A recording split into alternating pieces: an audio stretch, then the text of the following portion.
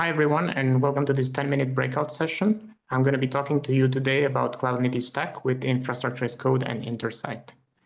My name is Vlad Ungureanu. I am a technical solutions architect. I am based in Zurich, Switzerland. I've been with Cisco since seven years, and I'm usually passionate to talk about software, cloud, and data center solutions. So today we're going to be talking about how I've built the Cloud Native Stack and all the components of it. So today we're going to be looking at Terraform. I used Terraform as the tool for infrastructure as code provisioning. Using Terraform, I will be automating Intersight, which is going to be our cloud operations platform, um, and specifically two services from Intersight we're going to be using, uh, the infrastructure service and the Kubernetes service. In terms of hardware platform, I'm going to be deploying a Hyperflex system using Intersight. And Hyperflex is going to be the system that provides me the compute, networking, and storage. And at the end, for building the cloud native platform, of course, we're going to deploy Kubernetes on top of this Hyperflex cluster. So this is an overview of how the cloud native stack would look like. This is the architecture. As we can see, Cisco Intersight is the middle piece.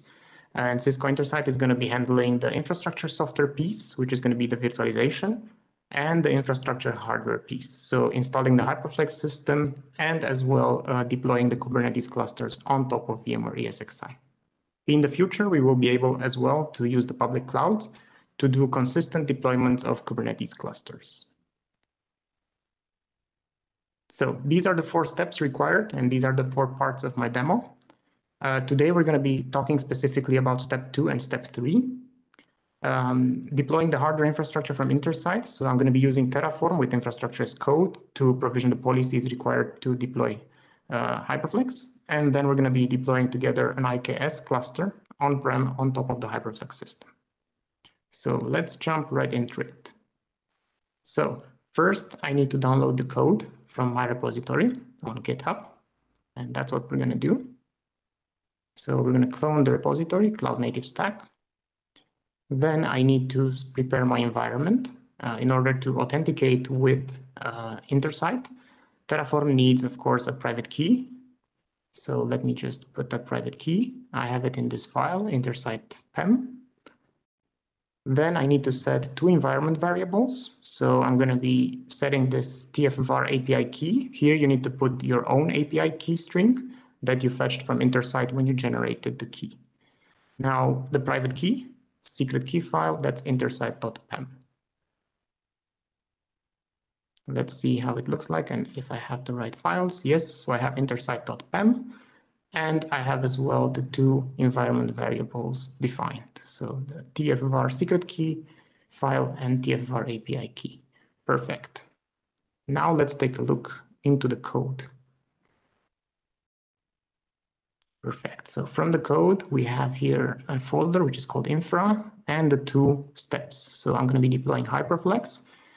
Uh, here in this file, you will see all the Hyperflex profile and all the parameters required for your own Hyperflex system. So you would need to go to all these parameters, edit them, and set it for your own environment. Same thing also for the Kubernetes cluster. You have this kubernetes.tf file. You need to go through all the parameters. So that's exactly what I'm going to do now.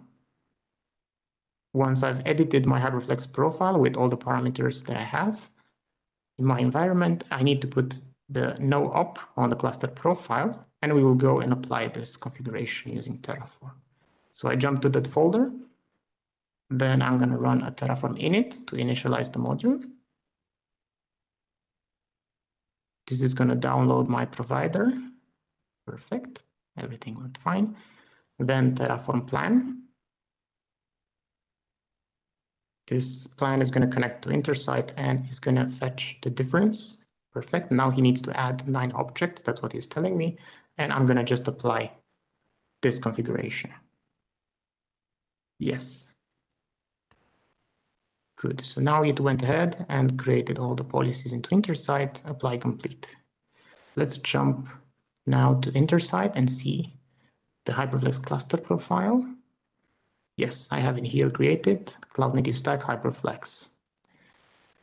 Good, now I'm gonna jump back to the code and I'm gonna change the cluster profile action from no op to validate. So I wanna run now a validation if all the policies that I have are actually valid and everything is okay in terms of configuration. So we're going to run again Terraform apply. Okay, it shows from no op to validate. That's the change. I accept it. And now the validation is completed. Once the validation is completed, we need to change this parameter to deploy. And I'm going to be applying again, this time with the deployment. Now I've paused the video and the, the deployment actually took longer. So what you're going to see after the deployment completes is exactly this screen. So I went ahead and deployed it. Uh, it took two hours and 48 minutes for my cluster. I had a Hyperflex cluster with four nodes configured. And this is uh, the screen that you're going to see once the cluster is deployed. Now, once you have the cluster deployed, this means your infrastructure is ready and we can jump to Kubernetes. So here I've added, again, all the parameters required for my Kubernetes cluster. And as target deployment, I'm going to use, of course, the Hyperflex cluster. So deploying Kubernetes now, same story, same steps. I'm going to run an init. It's going to download the Cisco DevNet Intersight provider. Then again, Terraform plan. And let's see what's going to happen. Perfect. So we have to add 11 policies for my, for my Kubernetes cluster profile. Terraform apply. Yes, I'll apply them and it went ahead and added 11 resources. Let's jump to Intersight and see if my Kubernetes cluster profile is there. Yes, it is there. Cloud Native Stack, Kubernetes, undeployed changes. Perfect. So now what we're going to do, we're going to change the cluster profile action to deploy on my Kubernetes cluster, and I'm going to trigger via infrastructure as code Terraform the deployment of the cluster. So I run Terraform plan again, just to check what are the differences. So exactly the change that I've made. No op to deploy, Terraform apply, and we're going to wait for the Kubernetes deployment to start. One changed, one object changed. And now if I go back to Kubernetes, I see that the task is pending and it's in progress. So now I'm going to go ahead and speed up the video and we're going to go through all the steps of the deployment. So we see time rolling quite fast. And this is how it looks like actually the whole deployment. So it's going to go through all the steps required. It's going to deploy quite a lot of objects. And then when it's done, we're going to see exactly this screen. So it took 25 minutes. And here what I deployed, I have a Kubernetes cluster with three control plane nodes and 30 worker nodes. Now let's check this as well in the infrastructure. So I'm going to vCenter to check if all the VMs have been created logging in.